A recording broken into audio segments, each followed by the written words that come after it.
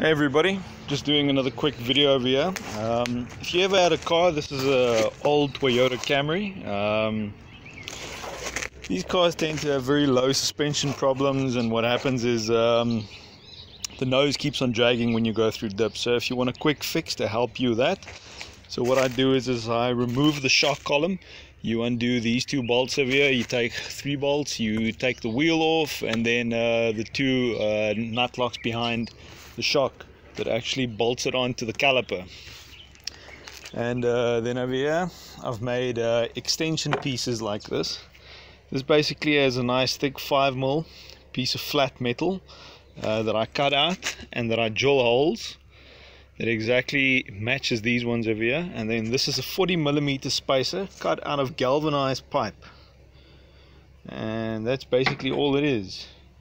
As you can see it's it's cut at a little bit of a slant. And uh, because as you can see it's cambered at a slant. And uh, this is quite important to do this. Um, I'm going to take the whole thing out quickly and then I'm going to show you how this looks. This basically just goes over there once the shock column is out and you push it back in and you just bolt it up. And that's that. Car raised by 40 mil. This side I've already done. And that is how it looks. As you can see. And the overall stance of the car 40 mil higher. Cool